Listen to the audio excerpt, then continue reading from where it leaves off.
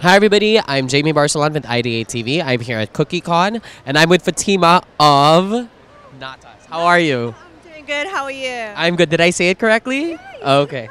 Pastries. Okay, perfect. Can you tell us a little bit about the company and how it got started? Sure. Uh, we've been uh, in business for 10 years now. We opened 2005, and I opened just as a bakery, uh, very small little bakery, 600 square feet. Um, so uh, the name of the store, Nata, Nata means cream, is the signature pastry of Portugal.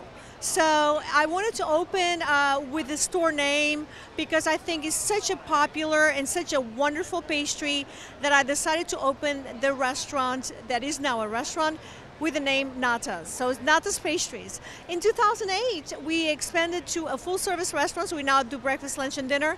But still, uh, the very most popular pastry is the Nata. So can you tell us about the Nata? What makes it so special? Sure. Uh, nata, it's a recipe that goes back to the 1500s. Uh, so it was actually uh, invented by nuns at a monastery because they used to compete, you know, in those days to see who made the best desserts. And so uh, that became very popular, and eventually they opened a, a store in Lisbon, Portugal, where I'm from. And I remember since I was a little girl, my dad used to take me there, and I fell in love right away. And so it's my favorite pastry.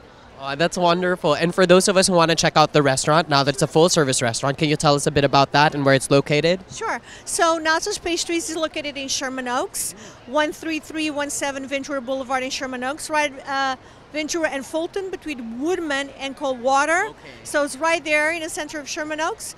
Um, and it's open from 8 a.m. to 10 p.m. every day. Perfect for all of us Valley people like me. We have to check it out for sure. For sure, we will.